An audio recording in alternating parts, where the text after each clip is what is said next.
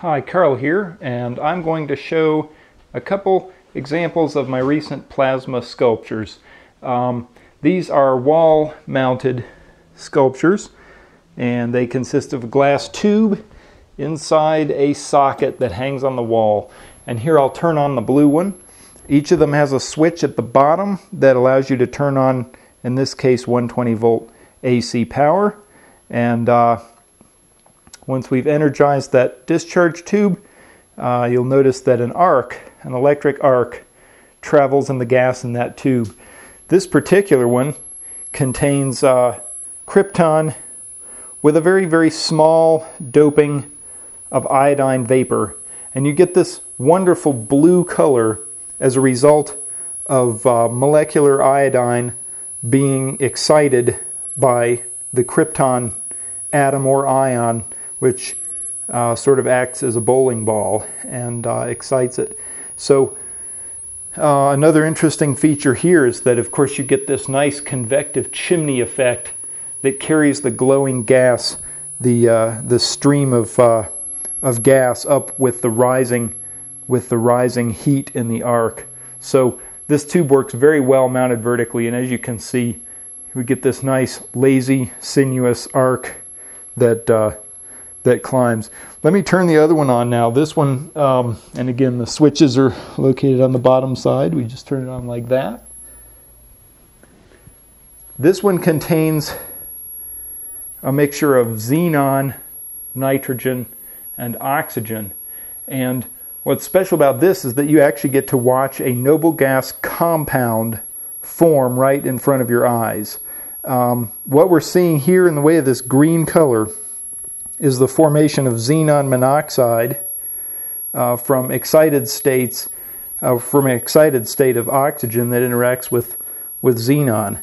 So, so literally, this is uh, this is light that's being emitted uh, as a quasi-bound state of xenon monoxide is formed. And of course, xenon and oxygen don't like to spend a lot of time together. The, uh, one's a noble gas, and the other is, although reactive, it's not that reactive, and so they, they do fall apart and nothing is consumed in either of these tubes. They will continue to operate like this essentially indefinitely. And um, you notice there they, uh, they complement each other quite nicely. Um, these have a self-contained RF power supply in the base. Um, the uh, uh, they'll run on anything from 100 all the way to 240 volts uh, AC, uh, 160 uh, hertz or 50 hertz. It's a very adaptable power supply. Um, nothing's particularly dangerous. Um, you can you can of course touch. You can touch the uh, tubes and um, you know attract the uh, attract the plasma to your to your fingers. Uh, so they're safe. They're safe for human beings to handle. Uh, the high voltage is impossible to get shocked by unless you really try, and it's not dangerous. It's just mildly uncomfortable if you were able to get your fingers down into this little crack right here, which is not easy to do, and that's by design. Uh, these tubes can be lifted out of their sockets. I'm not going to do that right now just because I'm trying to hold a camera. But the tubes are interchangeable. They have no electrodes. They have uh, no uh, nothing really holding them in. They can be simply lifted out.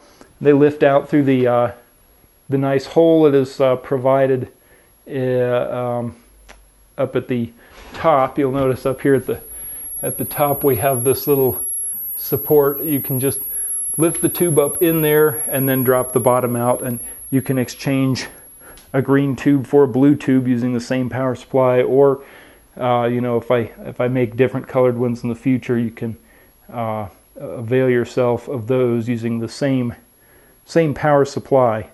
Uh, as, for, as to how these mount on the wall I use what's called a French cleat and we'll come over here. We'll, we'll get to see see that maybe just barely. Uh, it's a two-part thing. One part is permanently affixed to the acrylic and the other part is uh, one that you attach to the wall using whatever fasteners are appropriate for the wall material, uh, whether that's concrete anchors or uh, uh, wood screws or, or you know what have you.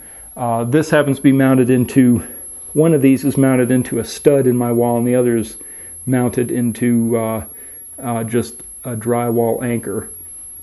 But very easy to hook up. You could do it yourself. Anyway, uh, any questions about these? Uh, a number of them are available for purchase. Um, if you're interested, uh, they make great decor pieces in, in darkened interiors. Uh, they have run for uh, uh, a month actually at a restaurant here in Albuquerque as part of a show. So um, they they are a tried and, and proven technology in that respect. Um, and as I mentioned, some are available. And if you would like them, please get in touch and uh, we can discuss delivery, installation, and so forth. Uh, again, plasma art and uh, some nice, interesting electrodeless discharge tubes that demonstrate the physics and chemistry of reactive gas mixtures. Um, thank you very much.